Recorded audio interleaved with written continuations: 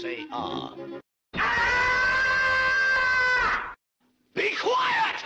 Shut up! I thought you said to say ah. That I did, but I didn't tell you to say ah!